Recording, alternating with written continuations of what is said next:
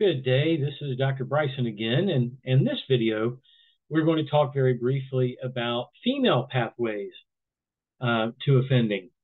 So this is chapter six uh, in your textbook, um, Youth, uh, Crime, and Justice. Okay. Um, so um, it's interesting because um, the book looks at boys and girls very differently. Most textbooks don't do that. Most textbooks don't give a different chapter on boys and girls. They put them all together and then they'll say at the end of the chapter, um, okay, now most of these theories were built on boys, but here's a little bit of what you need to know about girls. Uh, one of the reasons I chose this textbook is because it delineates the two in two different chapters. Now, having said that, do girls come to delinquency in a different way than boys? A big part of that question, or of answering that question, is the idea of um, a general theory of crime. Now that's interesting because there is a um, a book which I just happen to have in my library by Michael Gottfredson and Travis Hirschi called A General Theory of Crime. Now, this was published in the uh, early 1990s. Let me get the exact uh, date for you. Actually, it was published in 1990. So they were developing this theory through the through the 80s, and they published in 1990. Um, now, what they found was poor parenting and a lack of self-control correlated to all crime. Okay, now that sounds brilliant, right? The only thing is, well, there are two things. One, there are a lot of folks out there with poor parenting and a lack of self control who never commit a crime. But the other thing is that when we try to simply find a very simple explanation for multiple different types of crime, what we end up doing is oversimplifying. So Occam's razor doesn't count in this situation. Occam's razor being the scientific notion that all things being equal between two explanations, the simplest one is correct. Well, theirs is way too simple. All things are not equal when we look at that. Even Gottfredson and Hirschi have um, backed off of that theory. I mean, they've got other theories as well. But if we're simply looking for something like that, then certainly boys and girls are not going to be different. But here's the thing uh, perhaps boys and girls are different uh, in, in their criminal behavior uh, for a lot of different reasons. And the book actually uh, discusses that. So let's look at um, the section called Feminist Perspectives on Gender and Justice, beginning on page 117. So, conceptions of gender, make sure you read that section because um, uh, keep in mind that gender and sex are not equivalent. They might be related, but they're not equivalent. So um, gender means gender stereotypes. I mean, we look at stereotypes. Uh, I mean, we, and yes, these might be based on sex. Okay, the idea of big boys don't cry, right? Um, um, or um, the idea um, that uh, men are pigs, um, or women are gold diggers. Okay, those are gender stereotypes that I have uh, lived through um, in my life. And these stereotypes continue today, but they're stereotypes. They are assumptions. They are not accurate. But conceptions of gender and how we conceptualize gender. How do we conceptualize it in the in the culture at large, but how do we conceptualize it in our families? Uh, as a family therapist, I've worked with some families that uh, they didn't much value the girls uh, female children in the uh, in the family. Uh, the girls um, uh, or the female children, their job was simply to help mom with the house cleaning and the cooking and doing what the boys wanted them to do.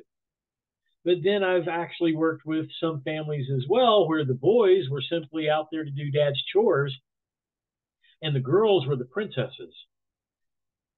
And see, within those families, gender is conceptualized um, in different ways, or at least with different outcomes. It might be the same way, but with a different outcome. So, gender socialization has a lot to do with that. How do we socialize boys and girls as they are growing up? Now, one of the things that I'm not going to get into is whether a child is a tabula rasa or not.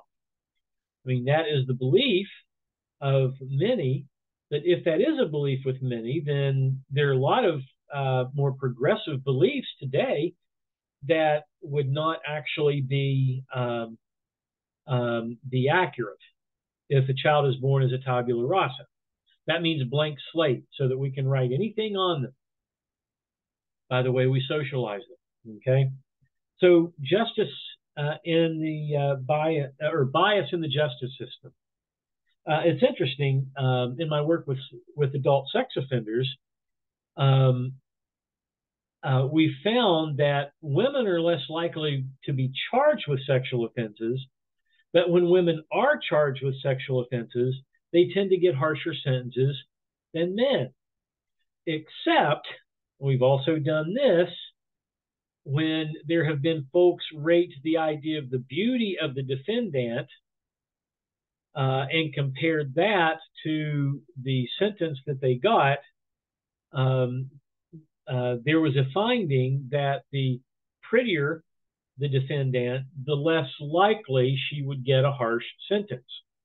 In fact, there were two models, two um, um, people, two women who had been models. Uh, one was actually a lingerie model. Um, and the judge gave them very, very mild sentences.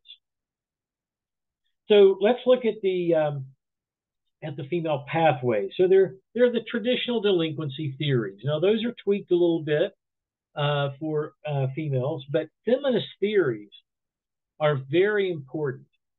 Now you know the feminist theories uh, have a little over a page worth of text dedicated to them in our textbook. There could be entire books on each of those theories. But one that I would like for you to be aware of is what's called the, fem, uh, the feminist pathways theories. And quite frankly, if you watch the film Thelma and Louise, now that's from the early 90s. Actually, it might have been from the late 1980s, but Thelma and Louise, um, that film demonstrates very well feminist pathways theory. That is, that women uh, have different pathways into offending. Some of those pathways are what we call male coerced, the male coerced pathway, meaning that there are some in this juvenile, uh, female juveniles who get hooked up with a um, delinquent male and they get them involved in crime. Very important to keep in mind. So we also talk about risk and protective factors um, with females as well, but we also talk about those with males. Okay.